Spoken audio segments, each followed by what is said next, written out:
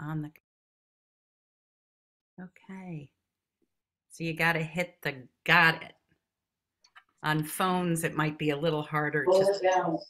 Got it. Can you hear me, Marty? i can That's weird, cause I'm on mute. i know okay need okay and that We might be hearing you on the second device. Yeah. There we go. Okay, all right. And, okay. Okay. Um, All right, we're looking at a few uh, connection uh, things. Uh, Okay, well. Start us off. Okay, I think, I think it's better now in terms of we're not hearing the reverb. Okay. All right. Yay. Okay. and you're in the same house, so I'm not sure why you're on different devices, but that's okay. Um, so, welcome everybody to. Um, I really appreciate this. We might have some other people coming in. Um, I I did note the chat, um, so we're going to go in a particular order so that we can get people on at as when they're able to get on um, before they have to go off to the, their busy lives. So, um, without further ado, I am going to um, share my screen to do a few things. Okay, let's, nope, there we go. All right. So, welcome to Show and Tales, a place to show and tell or look and listen. We have several look and listeners here. You're all as important as the story sharers are. And I um, believe that everything has a story and that everyone's welcome. So thank you so much. And a little bit, most of you know me, but I'm trying to get into a habit of this. Uh, a little bit about me I'm a personal historian or visual artist. Also, I call myself a legacy artist whose business Memories Out of the Box creates visual narratives from my clients' photo, document, or and memorabilia archives. In other words, I tell stories with other people's stuff. That's the work that I do. Um, so that led me into hosting these interactive story sharing gatherings where I invite people to show an object or a photo or for that matter, a vivid image that you have and that you carry in your mind from a day like today, September 11th. Um, and if you are an artist, creative, or service professional looking for a unique way to market yourself that feels good and does good, reach out to me about my community of story shareholders where I teach them how to host their own events as a way to build community and connection and support. So, with that, a few story sharing reminders have one thing to show. Now, needless to say, today could be a particularly difficult day to actually have a, a photo or an object from, but um, but a, a, explaining the image uh, that comes into your mind is is a fine thing as well. So keep it to three to five minutes. I'm trying an, a slightly different thing today, and I am using a little gong, a little air gong to to give notifications once we're getting close to the end of the of five minutes.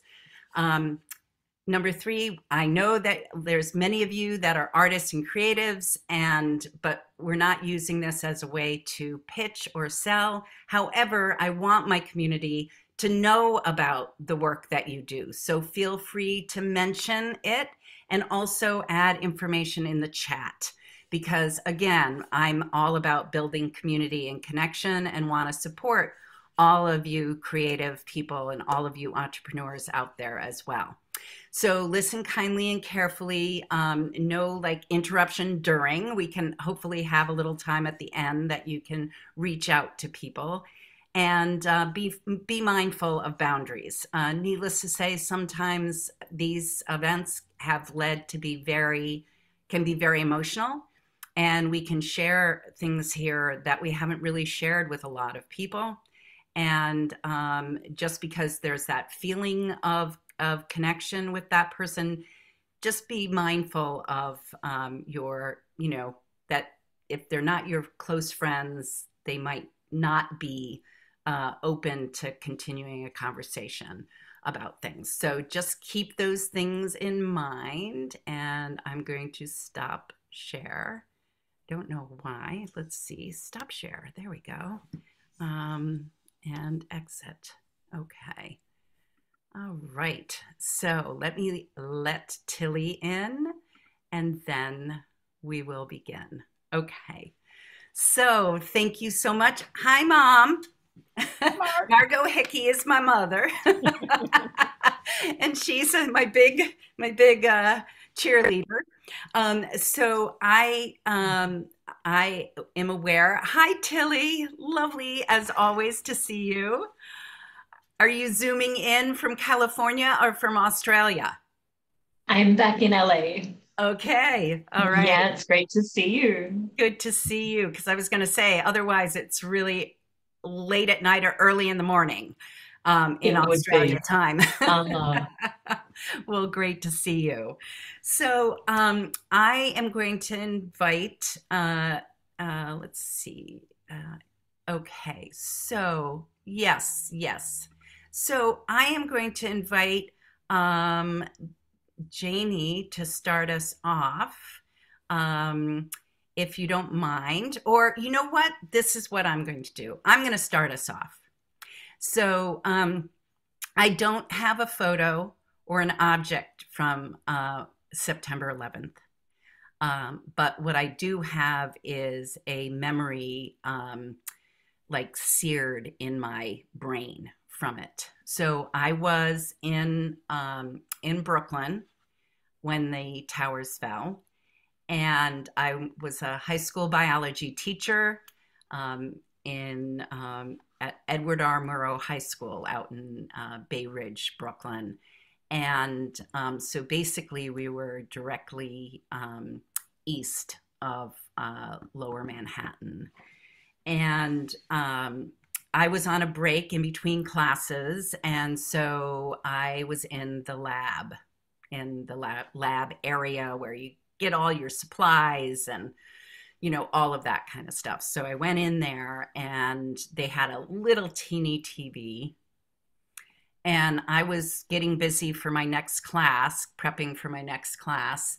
And a couple of the students were like oh my god oh my god what you know what just happened? And it it was just you know total disbelief. Um, you know, not believe, not, not, you know, just it, this is impossible. It just seems so impossible. And um, anyway, the that period, but also the biggest one is all the subways had closed down.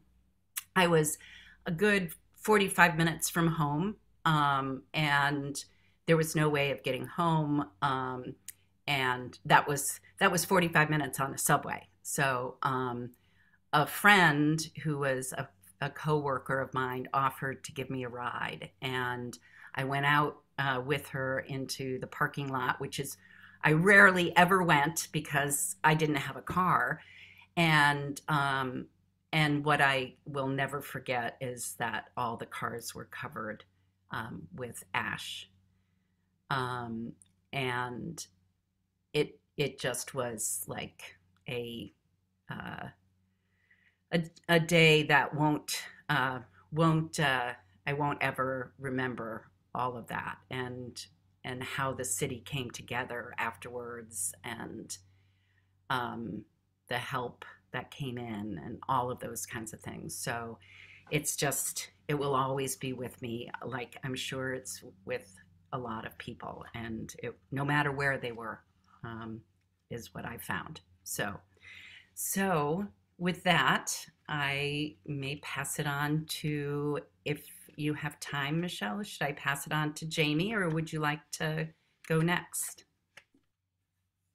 Uh, I can go next. Okay, it's it's literally like usually I would show something and tell a story like show and tell from elementary school. So Yeah, and I am so grateful to you, Mich- Meshell, because I have wanted you to be on one of at one of my events for the longest time, and I've wanted to meet you the few times I've been out to Texas, but we keep on missing one another. I so. I am so glad that I didn't give up, and you didn't either, and you're here. So, oh. and I am going to go ahead and spotlight you. And you can take it away. And I love your background, by the way. Oh, thank you. Okay. Um, and I don't have anything either. That was weird. I almost canceled because I actually lived in New York. I was in Midtown. Um, I worked at um, a Johnson and Johnson pharmaceutical company. We were having our regional sales meetings in a hotel, and one of the managers, we were on break. One of the managers came into the room and said an airplane flew into one of the towers. We were like, "What?" And all of a sudden every and the hotel had everyone going to a ballroom and i can remember the i can remember seeing the television um, where they were showing people jumping out the window. So all of that is that they don't show you don't see that anymore but because it was happening right then and i was in the city and we remember seeing it because i can remember everybody in the ballrooms hand going up and um, and the the the the feeling and the emotion and people were trying to call you couldn't get through on cell phones um, uh, landlines were busy uh, everything shut down. I had just moved to and bought my house in long island that july um, and there, so there was no there was no uh, LIRR to get back uh, Long Island Railroad. Um, my cousin still lived in Harlem where I had lived before, so I finally got through to her. Well, I just started walking. I started walking in her direction because I had a key to her house and she had a key to mine, and we were first cousins. So I just started walking her directions. Finally got through to her, and I ended up going there and staying the night. But all I remembered was after that, all I kept thinking was, I kind of I wanted to move out of New York.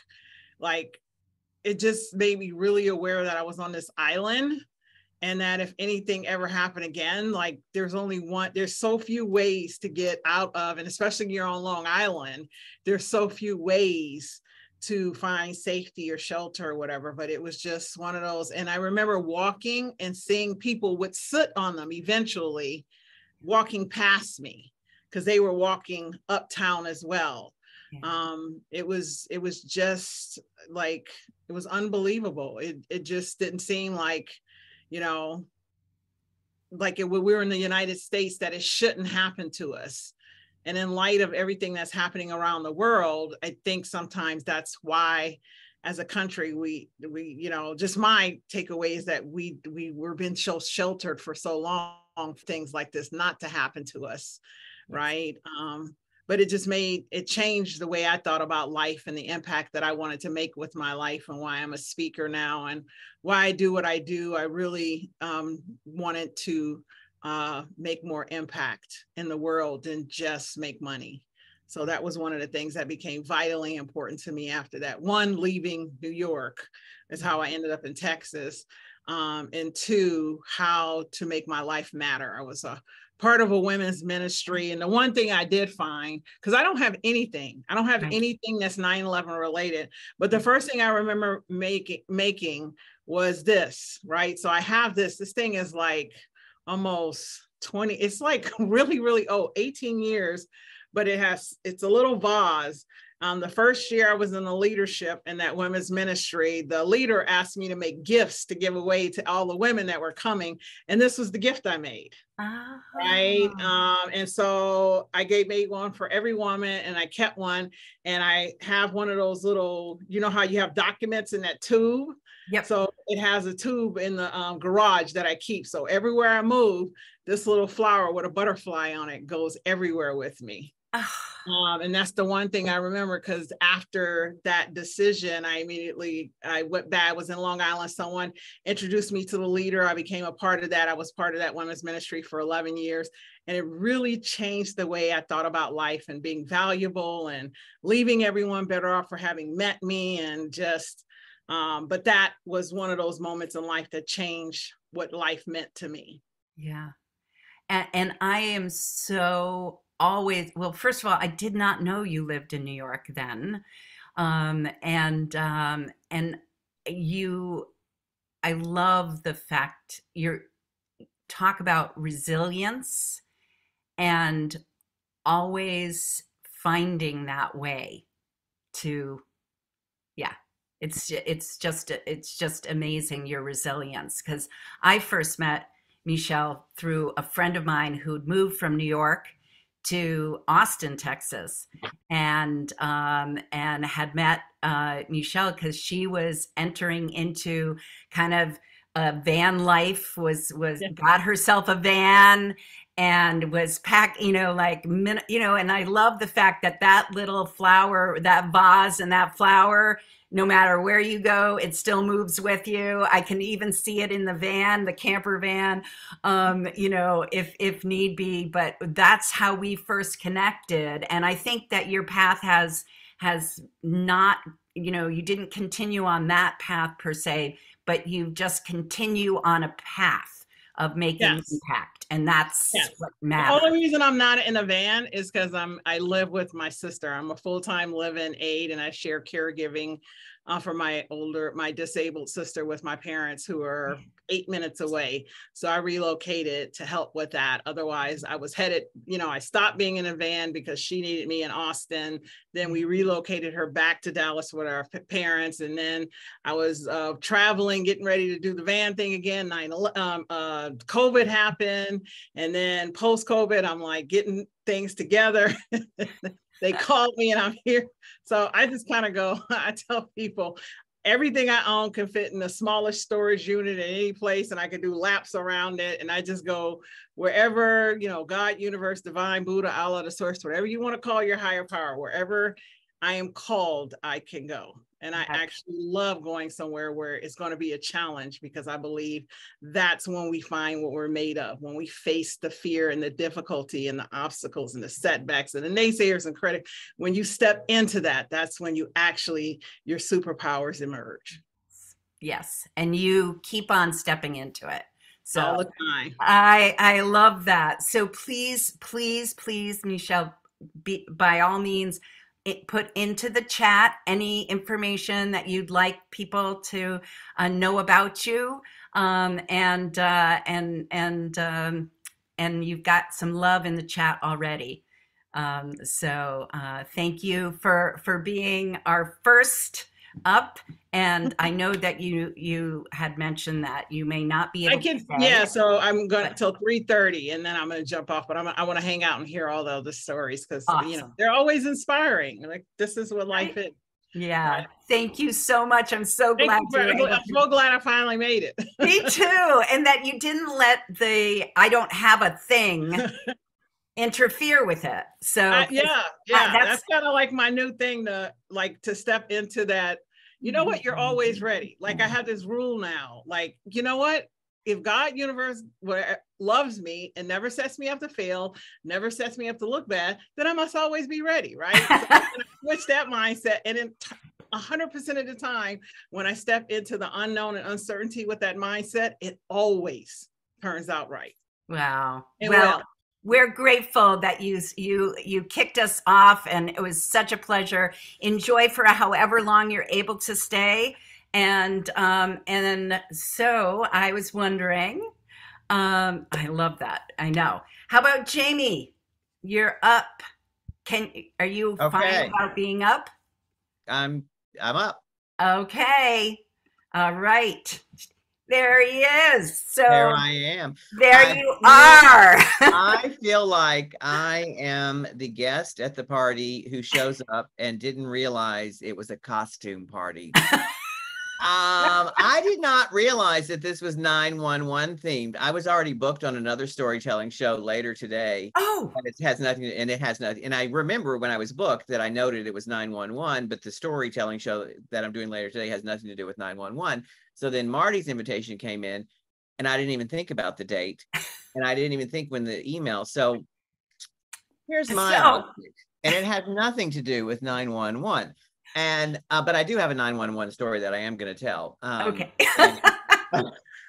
but I've always thought of this as a skyscraper yes. and it was a huge part of my childhood it's called a one-way puzzle and um Oh, as in yeah. there there's only one way once you take these pieces out to make it uh, all the pieces out to make it into a square anyway my aunt my great aunt stella bell gladys and walter who didn't have children and all lived together in the house in their parents house and they lit in the in this knotty pine see the knotty pine up there well, they had a den with Knotty Pine like that. And so they had a few toys for the nieces, the grand nieces and nephews to play with. And this was my favorite one.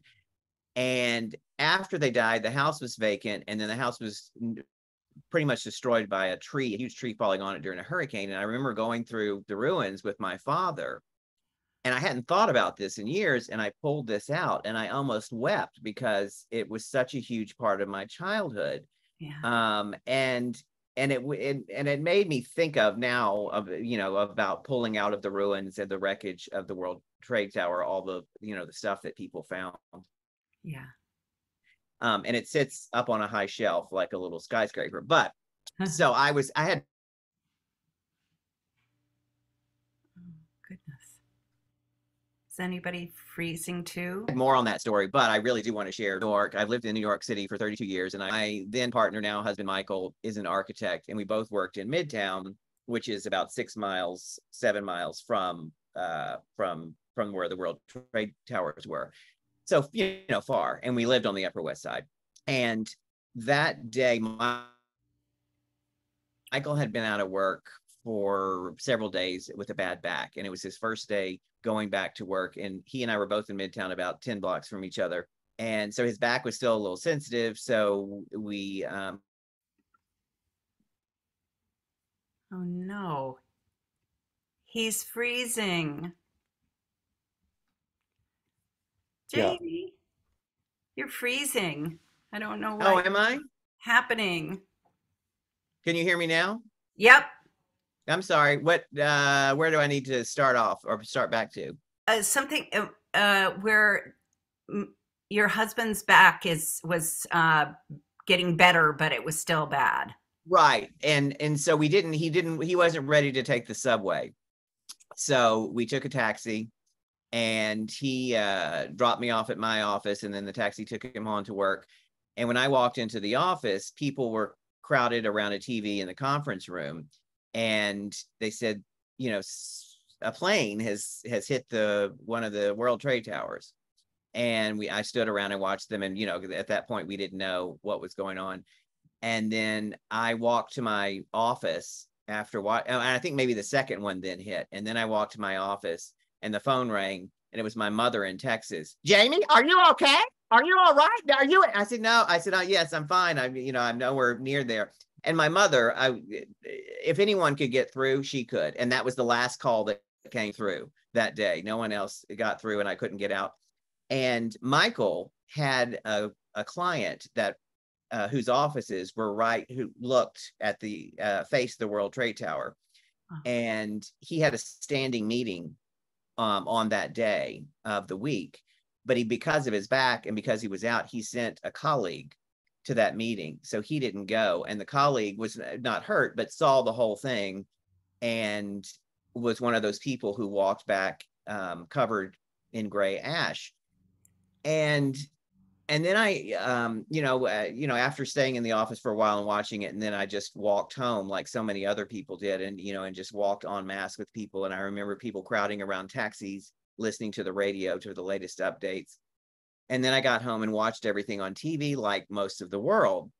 And I didn't know anyone, thankfully. Um, in the World uh, Trade Tower. So, um, so I, and you know, and people would, uh, and I stayed in New York, and Michael and I didn't didn't have like Meshell have that feeling of of wanting to leave, like a lot of people did, and I under I totally understand that. And someone I worked with was one of those people, um, and she, and she left New York, but I always kind of felt like, um, you know, when people would ask, "Oh my God, you were there," you know, how was it? How are you? and i said i kind of feel like the rest of the world because i because i didn't i was i didn't see it with that immediacy like meshell did and other people did and i didn't know anyone that died there and so i just had the what everyone else felt i mean I, it was you know horrible but i didn't have that um, um that um hands-on you know uh, uh, uh could you know awful connection to it like that so a few months later um Michael and I, there were, it was a renter's market. You know, a lot of people had left. And, and so we started looking, we were like, oh, look, we've been on the Upper West Side a long time. Let's look downtown. And then there's some great deals in, in Wall Street. And so we were looking at different apartments there. And like the third one we saw is a large apartment and it was a good, good rent deal. And it had um, outdoor space. And we already had a place with outdoor space. So we really wanted that. And we're like, this apartment's great. And the, and the guy said, well, wait till you see the terrace and it was this huge terrace, almost as big as the apartment, an L-shaped terrace. And we're like looking and looking. I'm like, why would these people give this up? And then we looked and we saw their view. And it was the view, a direct view of the World Trade Towers. And I was like, oh, no wonder they gave it up. And we didn't take it. No. And that's my story. Wow. It's it's interesting. Um yeah, that you're, you know, I had friends down. I didn't lose anyone, uh, you know, close, you know, super close to me, but I had uh, friends who work there, but uh, for some reason I had a doctor's appointment or ha- were at a meeting Mm-hmm. or something, you know, similar. Luck, yeah, by the luck of the right? Yeah. and yeah and and they still are dealing with survivor guilt um so it's uh yeah it's and and i think that the thing that happened for me was um a sense of how the city came together afterwards you know Yeah. that big sense of of pulling together we're in it together um you know uh that sense of you know just you know no sense of community and, Community. and fellowship and and support. Yeah. I- Yeah, I definitely. I definitely felt that too. Yeah, so I didn't have that feeling of wanting to leave, um, but I certainly know my mother was trying to reach me, uh, and other friends were trying to reach me, you know, and of course they couldn't. I mean, for quite a while. Yeah. Um, so um, that was, you know, really scary for for them because they Right. And it was before go. Facebook where you could mark yourself as safe. You know, right? have that. So Exactly. There was Yeah. no way to, you know, to to do that. So anyway, thank you very much. And and I love I always love your objects. I love your objects. You always have. I remember you bringing to the our coming out show and tales and you've been a great supporter of mine. I really appreciate it, Jamie. You came oh, thanks for having me, Marty. the coming out show and tales and brought a, a matchbook of was it your parents or Oh, that's right. My parents. Yeah. Parents. From their wedding. Yeah. they yes you they still matchbook had that matchbook that they mm-hmm. gave away as a gift i i just i you know well and and jamie has shows and books and all that and please feel free to put that in the chat as I will. I'll put it in the chat. and I will be following up with an email with with his and and obviously there's a lot of in in his shows that I've been had the pleasure of going to there's a lot of sentimentality to it there's lots of beautiful uh, photos and film and all kinds of wonderful things so we're kindred spirits for sure so Absolutely. thank you thank Thanks, you Marty. so much thank you right. Can't wait to Uh, hear more stories. I know, I know. All right. So, um, if I don't get a message in the chat, I'm just going to go with the next person who had signed up. And I think that that was Stephanie. Stephanie got back to me when I sent out the first email about uh, 9/11 stories. So I am going to bring her up to stage. It's so wonderful to see you. It's nice to see you too, Marty. Yeah, it was so wonderful. I had the the pleasure of visiting Stephanie when I was out in California. She lives in a fabulous a little little teeny teeny town called Rough and Ready, California. and I got the pleasure of of being in uh, uh, parking my little Brooklyn, who you see behind me, um, in Stephanie's driveway, and I actually stayed for a couple of nights, which was such a release relief to not be on the road for a little while and to in your little sanctuary. So, thank you, thank you so much. Oh, you're so welcome. And It's Yes. fun to have you, and it's fun to be here. Finally, I'm kind of like uh, Meshell, but finally, I made it. I, I did one in person back, what, like six years ago. So Yes, yes. Anyway, I can't believe it. I know. Six years. Yeah. Time flies. Yeah. Take it away. So I have never lived in New York. Um, I was born in the Midwest, and I um, I have a very different September 11th story. So my dad worked for the Lutheran Church as I was growing up. And when you work for, uh, he was a teacher. He wasn't a pastor, but his um, part of when you work for the church, you were called to go to a new position somewhere. Now, we were living at the time in a little dinky town in Illinois called Paris, Illinois. Don't recommend it.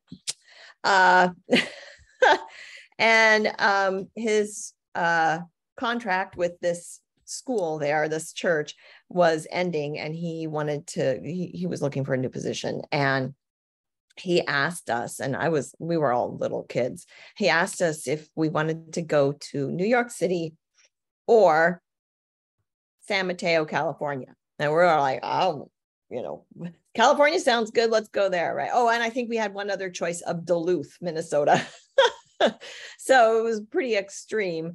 And um, we packed up the, my parents packed up the house, you know, I mean, this was 1969. And we um, had a, and I don't have a picture either. I so apologize because I looked through, I know there's pictures out there of our caravan. We had a U-Haul truck with towing a car and a- an old Pontiac station wagon, probably in 1967. And it was piled like a camel on the back. And the seats felt uh, laid down and my brother and sister and I were the youngest and my I have an older brother but he was part of the driving team and so the three little kids laid in the back of the station wagon across the country. And we stopped in various places at the time because we were um, originally from Kansas City so we stopped in Kansas City we stopped in Denver to see my grandparents and Utah and all the way across getting to California.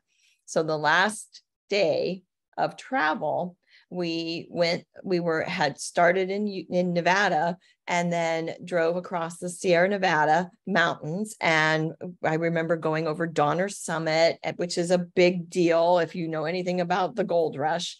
And then we came across the San Mateo bridge which crosses San Francisco Bay and it was September 11th and 1969. And my mother remembered that day forever, uh, ever. It was always an, an anniversary of we, we've been in California 10 years, 12 years, whatever. So as of today, I've been in California for 53 years.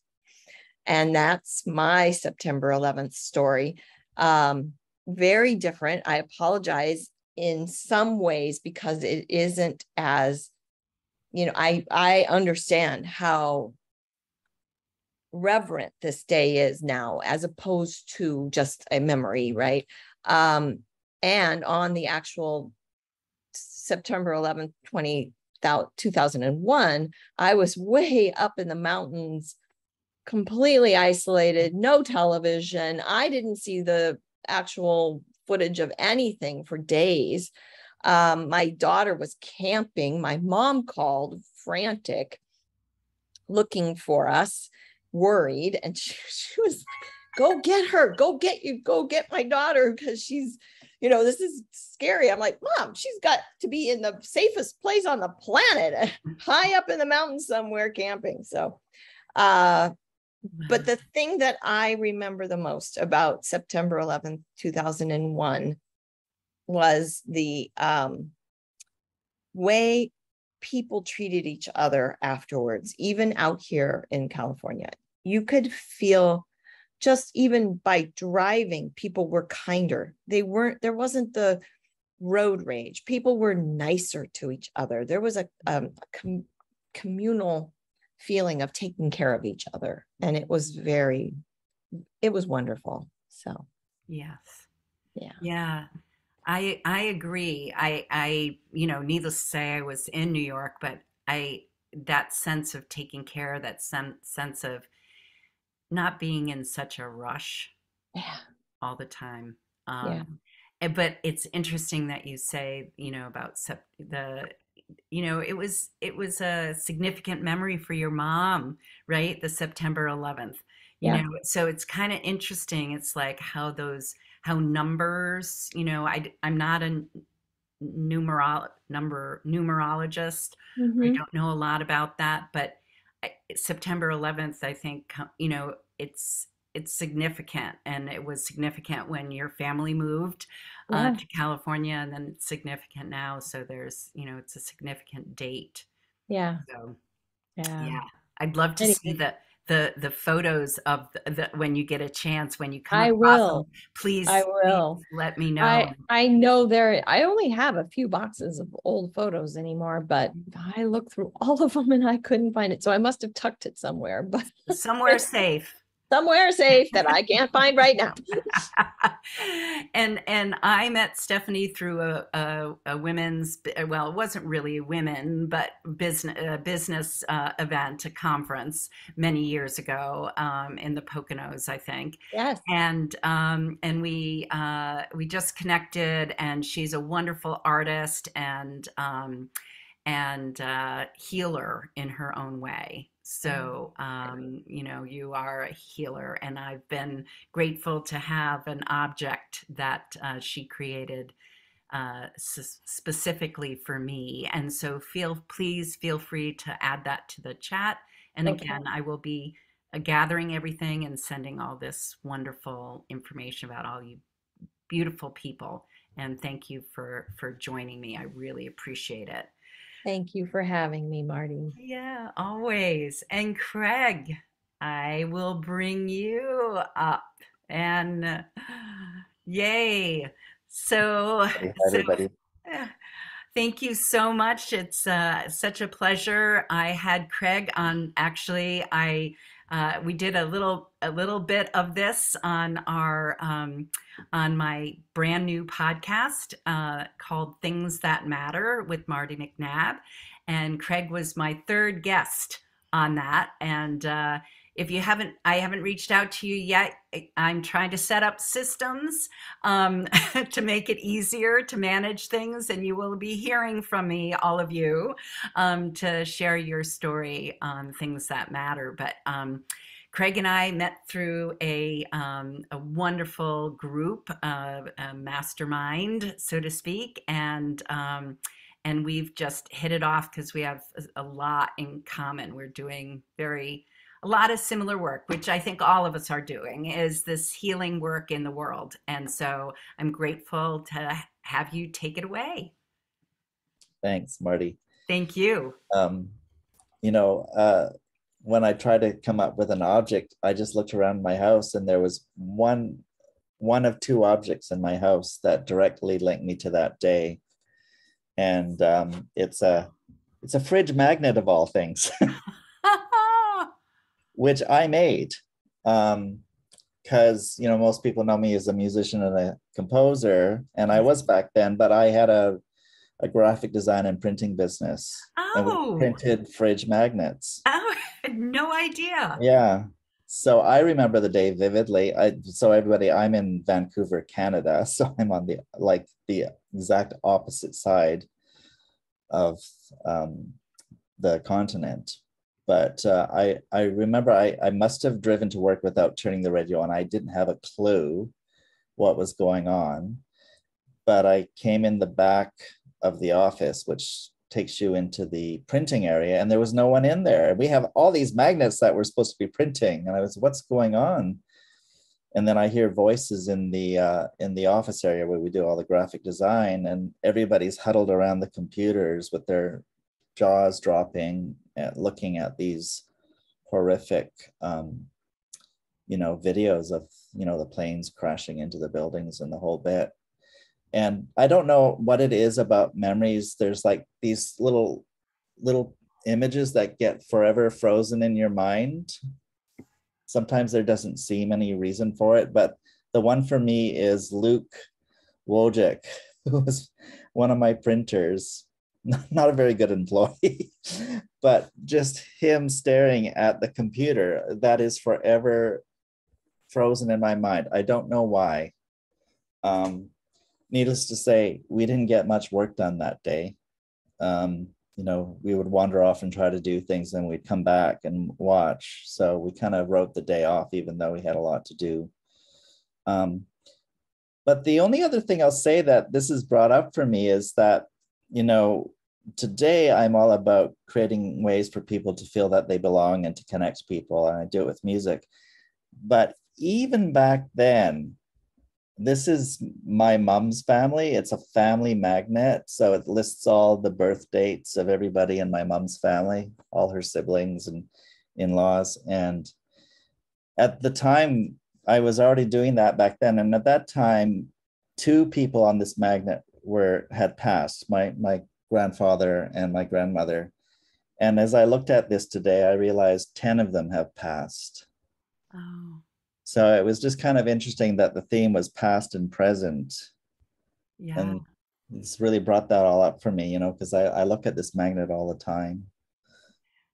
Yeah. wow. Even back then, I was trying to find ways to have people feel like they belonged and they were connected, family Yeah. magnets. right? By through magnets, anything can be used, right?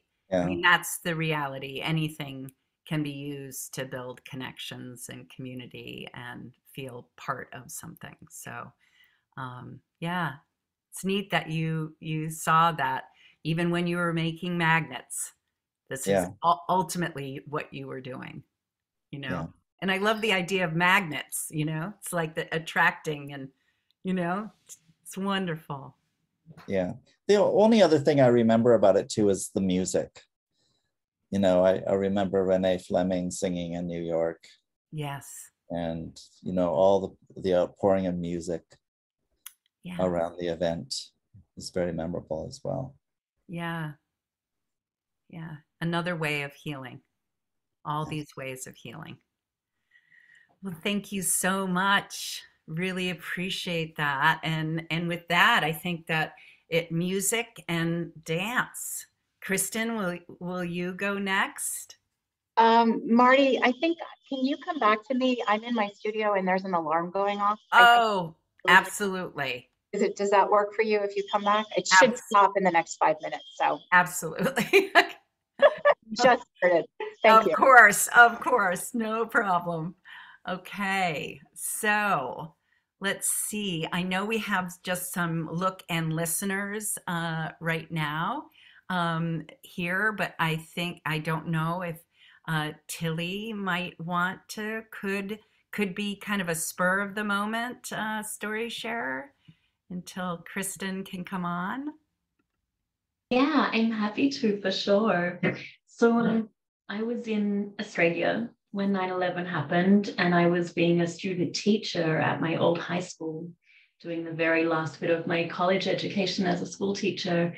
And uh, so I was staying back on the farm with my parents, and we had no television. We'd never ever had television, and um, and no internet, and just no connectivity at all. So 9-11 had happened uh, if i've got my time differences right it had happened like as we were sleeping the night before. And so I showed up to school with my dad, who was also a teacher. We'd driven there together.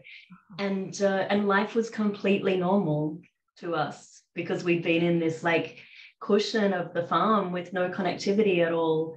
And uh, and then we just arrived at St. Patrick's and everything seemed like it would never be the same again, but we couldn't work out why. And it was just this really odd hour or so, I guess, of form class in the mornings, you know, where you take roll and check in on the kids and get ready for the day and slowly piecing together what the kids and the other teachers had had at least a few hours to reconcile, you know, like that time over breakfast and getting to school. And so they'd all kind of started to figure out what was happening, although I mean, as I'm sure we all felt, it was so strange that you couldn't even work out what was happening if you were watching it in real time. I mean, it was like beyond anybody's comprehension, the horror of it. And so it was a day of trying to act normal and be like an anchor for these kids. But in every break, we would slip into the the staff room where again there was like a little television set up and and we would just grab these glimpses of footage that was you know so horrific and so shocking. And um, and that realization that you know the ease of travel which is so characteristically australian um, wouldn't be the same anymore. And um, and yeah the world felt like a, an even smaller place in a sense because we were also intimately connected through through footage to what had happened, but also felt like such a distant place because travel had become something that was, you know, almost impossible. And uh, and I always wonder, like for those kids that I was teaching, I wonder how different their lives turned out because of that day. You know, they were like ranging in age from 13 to 18 and uh, and so they were making big life choices about you know whether they might get out of this small town and whether they might travel and what might be in store for them. And I'm sure that that day was, you know, a, a turning point in their little minds in terms of what would happen next. So I don't have an object to remember it. Um, it was very, very much a sort of like ephemeral experience just through that television that we had set up in the staff room to try and keep in touch with what was going on. Yeah. Um, but yeah, a day that's absolutely inscribed in memory. I wonder why it is that um, New Yorkers came together so strongly after that tragedy, and we we kind of haven't maybe in the same way seen that after COVID, if we are indeed after COVID. I don't know if it's post COVID yet, but. I just I, I came to thinking as I listened um, to other stories, what was it about that that didn't exist in the COVID crisis that really cohered us. Yeah. And I wonder if we could find it and um, and do a little more cohering. Mm-hmm. We could yeah. do with that. Well, I'll say this though, we couldn't really hold, you know, we couldn't see each other for a long time. So that probably affected that. Yeah. We weren't able to react that way because we were isolated and had to be. Yeah. Yeah, absolutely. Yeah, for such a long time. And I, it's so good to be one of at one of your events. It's been the longest time. I and, know. Uh, lovely and, as ever. And I am so excited. Well, one of the things I wanted to say as far as I think that the thing is is that I do have I have friends who li- still live in New York City and they did end up doing the the every evening at seven o'clock at you know, out the windows. You know, there's a book that a, a friend of mine is actually in. Um, you know, sh- you know that they were, you know, honoring all the first responders and last responders and all of that. And so the city did pull together in in a way. We just didn't see it as much, and I wasn't there, so I didn't feel it. But I think there was that. So, but I I agree with the more more co- eh, co- cohesiveness and what can what we can do to bring things people together. And i think that that's ultimately what all of our work is about. Like craig i off put some uh, information in the chat about his work healing work with music. Um, you um, i'm so excited to hear that you're going back to some live story time for the apocalypse as well, which was your response to the COVID pandemic as well. Um, and you have a podcast and you know all of that and creating these spaces for people to f- connect and build relationships and friendships and stuff so. I love that. I and i and please put that in the the the chat as well. And one last thing i'm going to be reaching out because i want to know i was just i just used this today oops so this bag from From uh, the Breakfast Club. from the Breakfast Club because I was out Oh. in LA and got a chance to go to the LA Breakfast Club um, with uh, with Tilly and experience that, which is a really, really, really like historic, you know, uh, club. And I was using this bag and I thought, where do you get these bags made? Because I want some. I need to have mine made. So I'm going to reach out to you about that, Tilly. Absolutely. I will take that as homework and I'll find out the manufacturer. or connect me And if with the right person. Yeah, I will do. Absolutely. If anybody is in or near Los Angeles, you are so welcome to come to the LA Breakfast Club. For 97 years, we've been meeting on Wednesday mornings for breakfast and to celebrate friendship. And uh, it was so fun to share it with Marty earlier this year. Yeah, and one of the place. first show and tales that she joined me on because I connected with her, her through Let's Reimagine um, uh, End of Life. Uh, there's an artist on there that's doing connective healing work as well. Kato Stewart, I think is her last name. And she Mhm. connected me with Tilly. And the first thing that Tilly brought was a button from the LA Breakfast Club. So I was like, when I was out there, I was going to make it happen. And we were able to make it happen. So I'm so grateful. So thank you so much. So, um. Kristen, are- is the alarm done? No, it's still going. The fire company is here. It's really, I, I don't take it lightly, the irony that there's literally like, I know, I not, not to minimize, you know, I mean, this is a very serious subject. I'm like, really? There's, I mean, thankfully, this is not, there's no fire or anything, but I know that the fire department has to actually come in and shut it off. Oh. So I hear them. yes. I'm just waiting. Okay. all right. Um. I just No don't want no it to problem. be, I don't know if you can all hear that in the background.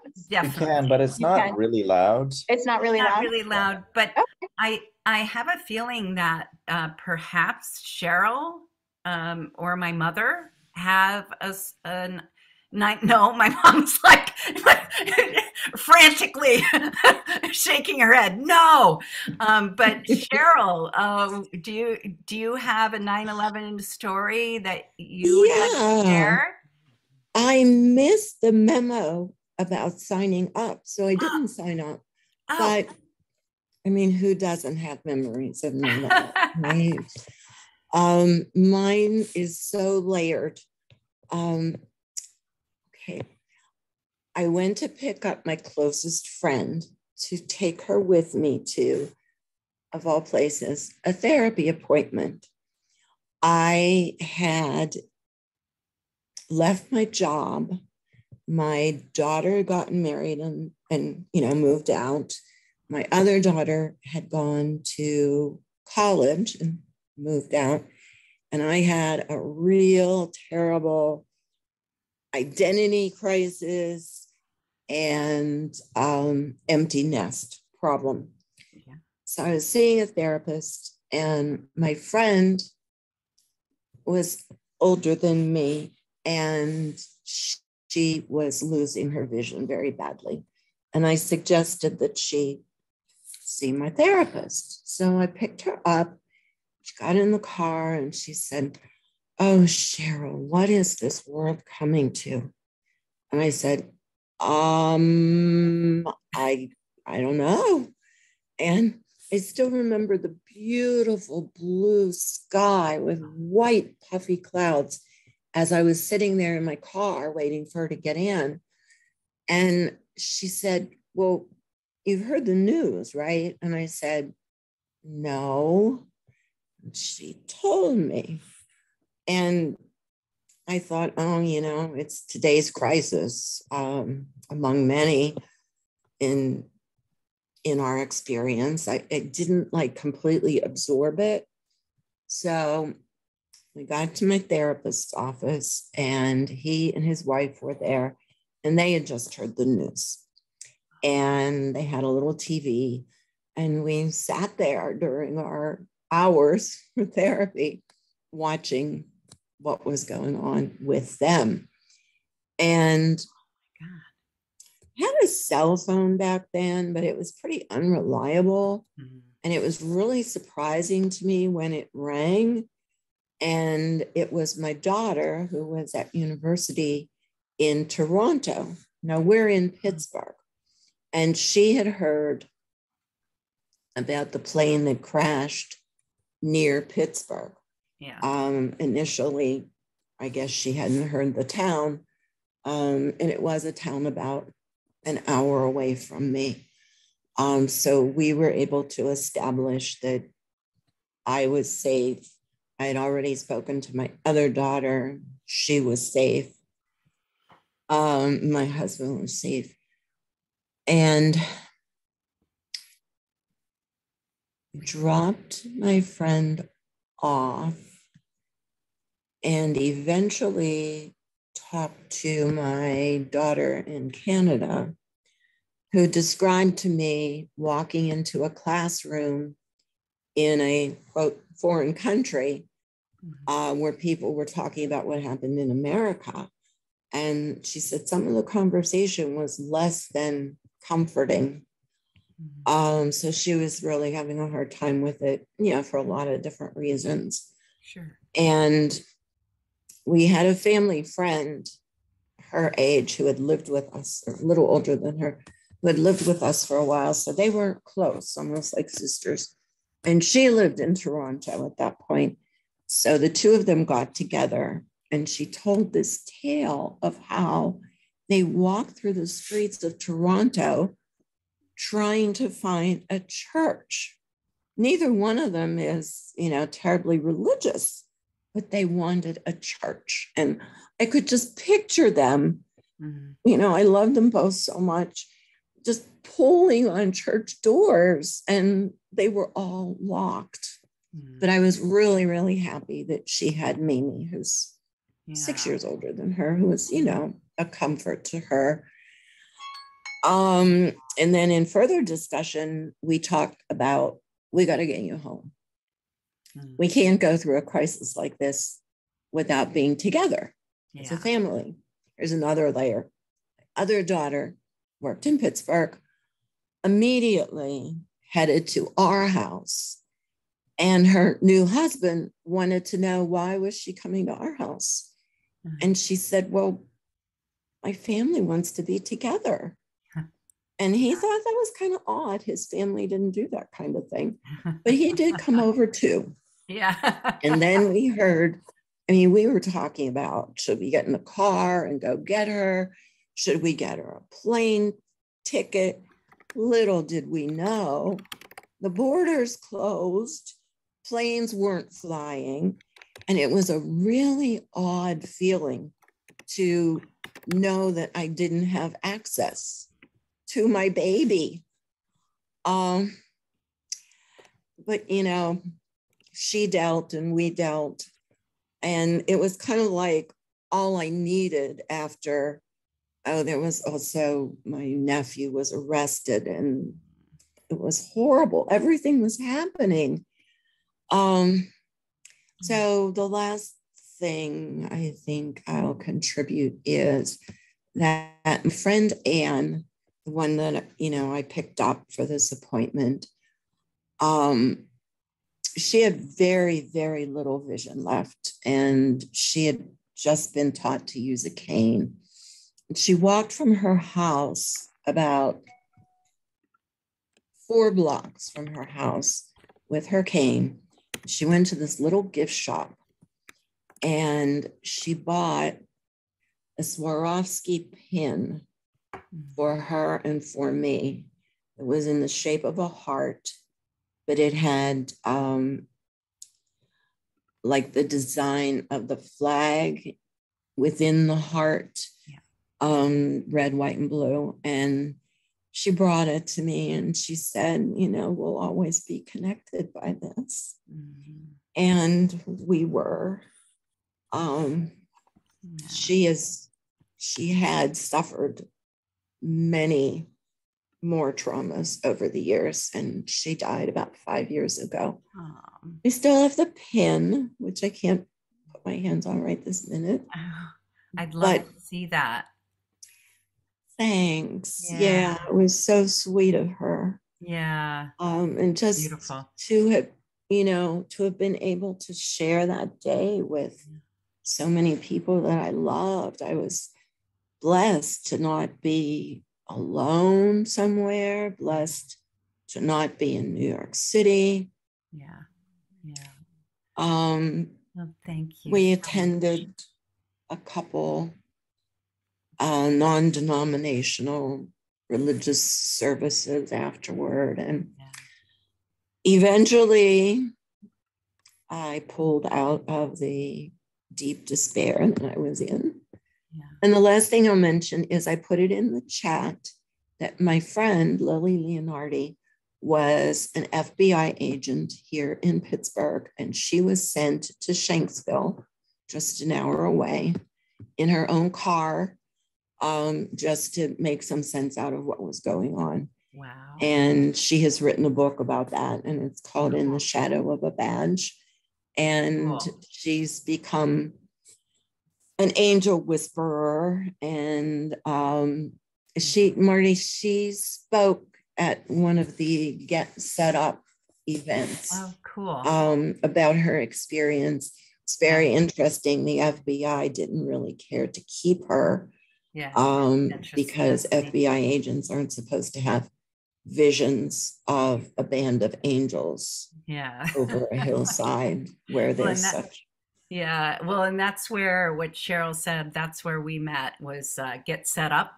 Um, it's uh, a great organization for um, all kinds of classes and workshops and uh, m- you know social interactions for people 55 and older. So um, do uh, check that out. Nobody or- here fits that category, Marty. send send send people to it if you know anyone who might want that so i've tried to get my mom to get involved but may, not maybe maybe not now but anyway i i hear from kristen that the uh, alarm is done and so uh, we can now have her finish us finish our our our story up because i i do think that everybody else has gone or they're saying that they don't they just are here to look and listen. So kristen. Thanks for giving me a chance, Marty. oh you're welcome cheryl. Thank you and um and so uh, we have kristen who i also met uh, with in the same program as i'm in with craig and so craig is the musician and uh, kristen is the dancer and choreographer and it's just so wonderful um, hanging out with all these creative souls that are doing wonderful work. So take it away, Kristen. Thank you. Thank you, Marty. Um, so um, I um, wanted to share for um, my object. This is a little greeting card. I don't know if you can see it well with the Zoom resolution, um, but it says, sending a smile to help you pick up your day. And it has a little cat, um, presumably in a mirror. Um, and I kept this, this greeting card wow, more emotional than I thought. Um, I received just a couple days um, after September 11th. Uh, I live in Hoboken, New Jersey, which is across the Hudson River directly from, from Midtown and downtown Manhattan. Um, and I was working in Midtown, um, right very close to Rockefeller Center. Uh, Marty mentioned I'm a dance artist. Uh, I've been a choreographer and a professional performer for most of actually all of my adult life here in, in New York City. And I live in Hoboken so that I can commute into New York um, for my work. So at the time of September 11th, um, I was working part-time for a financial um, management company um, as my day job, so to speak. And this card, um, my grandmother sent to me. Um, it's really the only physical reminder I keep of that time. She sent it to me about two or uh, maybe like three or four days after September 11th in the mail, um, because uh, as her only granddaughter, um, my father is also an only child, so really I'm an only only. Um, she sent this to me because even though we did have phone communication, um, while that was all unfolding, um, this was really her way of checking in. I love you. I'm excited that you're pursuing your dreams, and I still worry about you every single day. Um, and um, what I, I think, I mean, I it's been said so beautifully already by so many of you that um, you know there are those crystallized memories, these images of the unfolding. Um, myself included, walking with rows of people through Midtown. Um, for myself, in my case, walking with a group of people just as far west as we could to the Hudson until we found ferry boats that were just going to New Jersey. We didn't even know where or asked, we just got on them. Um, and I was really lucky that I happened to end up just a mile or two north of where I live so that I could walk home from there. I was on the boat with other people that were going far further out than that and had no idea what they were going to do once they got to New Jersey, but they were going to figure it out. Um, and I remember being on the ferry and the placidness of the water in contrast to actually seeing almost like a scene in a movie.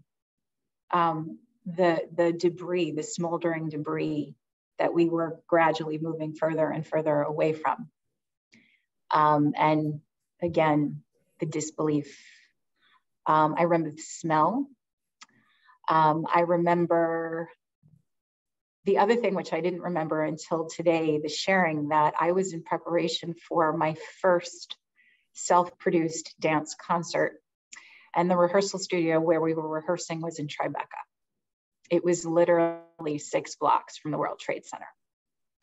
And I remember being in communication with all of my dancers because our concert was scheduled to premiere two weeks after September 11th. And we had been working on this piece for almost a year. And I remember talking to the studio owner who had been displaced, like everyone else downtown, had no idea what was going to happen. And um, being in this space of we don't know and we're going to figure it out. Um, and the the silver lining to all of that, as there were so many during that time, was getting a call from her early, early in the morning, I think a week and a half later, that they were back and that we could continue. Um, and one of the most therapeutic things was going back into the studio with the dancers and making the conscious choice that we were going to use our art to help people to heal. That in whatever small way, minimize the tragedy, but that was part of what we could contribute to the larger healing for humanity. And that's really a lot of what I do as, as a dance artist. I'm really a healing artist as well. So um, I kept this all this time. I will probably never get rid of it. Um, I don't know what'll happen after I pass. I don't have children. but um, for as long as I'm around, I keep this as a structural reminder that my grandmother, she's always with me. Um, and it was pretty miraculous, some of the silver linings that came out of that day and that period of time. Yeah. So thank you for giving me your oh, listening. Oh, well, thank you so much, Kristen. I that's uh, was a beautiful uh, way to wrap wrap things up.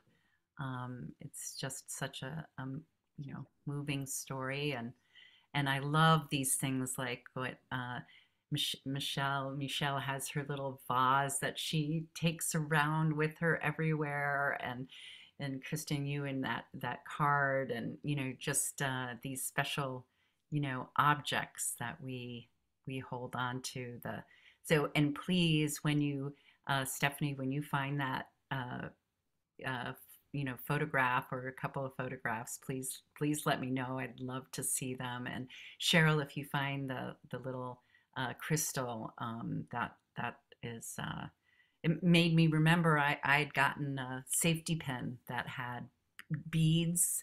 The, the beads were on that was like a, a American flag. So, um, um, but you know that's also the beauty of New York City. It was, uh, I mean, uh, needless to say, I'm sure you heard in in the news and everything that there were, um, uh, you know, bias attacks and things like that. Um, there are those everywhere, but I, I still felt like New York City felt, you know, it was just very much a, you know, as it always is, a multicultural, multi ethnic, multi religion um, uh, place where, you know, uh, and small communities that gathered together and helped one another through through it, through all the through all the emotions that we felt. And uh, I appreciate um, and I think that I think that it appears that we are wrapped up a little ahead of time, which is uh, which happens occasionally, not always.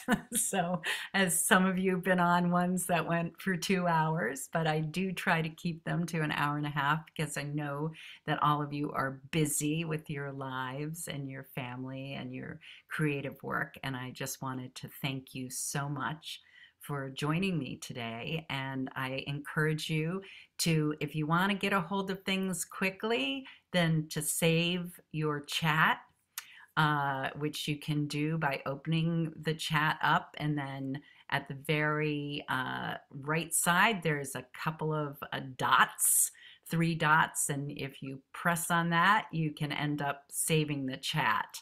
So, but I will be uh, saving the chat for all of us, but it may take me a bit of time to get that off in an email to all of you. So, um, and speaking of which, if you're not signed up for my e email list, I'd, I'd love for you to do that. Um, and so just send me a message and um, I will uh, send you information on how to because I don't have it set up on my website, blah, blah, blah, you know. We're all dancing as fast as we can. Um, and I appreciate all the dancing and I appreciate you, the look and listeners as well, Louise and Heather and my mom, Margot. I really, really, we, we need to have you in the audience as well. And thank you, thank you, and enjoy the rest of your day, everybody. Thanks, okay, Marty. take All right, thanks, care. It was a pleasure. Thanks, Hope to see you all soon somewhere. Wonderful. Thank you, everyone. Thank you. Thank you, Thank you. everyone. Thank you, thank you. Thanks, Marty. Thank you. We'll see you soon. Okay. All right. Bye. Thanks again. Thank you, Heather. Bye.